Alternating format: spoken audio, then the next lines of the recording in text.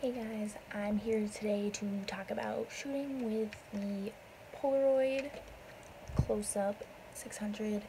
I got this off of eBay probably like back in December.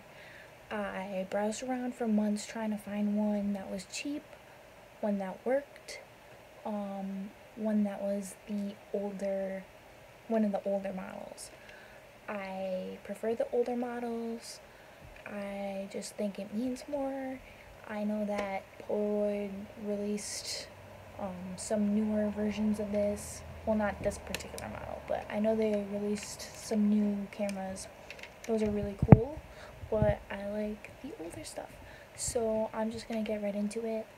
Um, this is the camera. It's pretty bulky. Uh, you just open it right up and you can hear high-pitched winding and that's the flash charging. So the flash is charged with the green light um, so here obviously is the flash. Uh, this is the viewfinder. So this is where you'll see the image when you're shooting. This is the lens. Here we have the exposure meter. So in darker area, you'll want to slide that way to get bring in more light. In lighter settings, you might want to slide it that way to darken it. And it really is up to you, like what you prefer. Um, I prefer darker images, so even if there's not as much light, I still tend to slide it to the darker side. Um, over here we have the focus.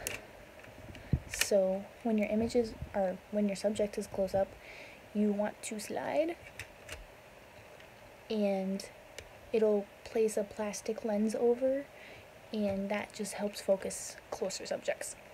And for further subjects over four feet away, you want to slide it back. So over here, we have the exposure count. Um, so you look inside and that tells you how many pictures you have left. So there's a tricky thing about this. The newer film packs, they come with eight, sorry, eight pictures.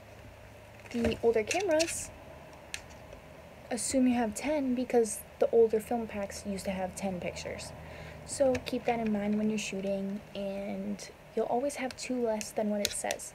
So keep that in mind so you're not missing shots. Um, so here obviously is the viewfinder. You stick your eye. Over here is where the action happens. You pull back this trigger to take a picture with flash. And then there's a smaller trigger to take a picture without flash. I always use flash because I like the higher contrast um, it's just my personal preference. I just always use it. So, close that. Right here, this is what you slide open to load your film. So you slide that open. I'm not going to do it because I don't want to ruin any film that I have in there. I have black and white film in there right now. But you just pop it open and you'll see a slot. And the slot, you open up your film package. Um, I guess I could open this. No, I'm not gonna open it. But you open this and there's a square package. It's like foil. It looks like a Pop-Tart package. You rip open that package and you'll get something just fell off my wall. Um, you'll get a you'll get a cartridge like this. So it won't look like this exactly because this is empty. So it'll have a black thing like that over it. You want to put it in with this side down. These are the batteries actually. So you just slide it in that side down with the tab at your fingers. So you just slide it in like so. And then when you close the door, your camera will eject the slide that protects the film from exposure. And then you're ready to go. And you just go out, you have fun with it. Don't worry about getting perfect pictures because you're not always going to get perfect pictures. It takes a lot of practice. I'm still learning. I like to mess with the different settings.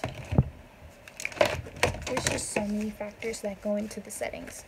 Um, if it's really, really cold out, you'll get a bluish and greenish tint. I found that if it's really hot out, you'll get a warmish tint. There's so many things that go into it, and it's just important not to suck the fun out of it by being a perfectionist. Don't worry about wasting film. I know they're expensive, but it's just, you should just take the picture. Just take the picture. You could always get more eventually. Um, so I'm just going to show some examples of my pictures. Um, showing I make mistakes. Everyone's going to make mistakes. This is an example of overexposure so I didn't mess with the exposure setting properly. And that's what happens. Here's a picture of my puppy when we first got her. She's not focused because I didn't slide the macro lens over. The background is focused, but she is not. I still like the picture.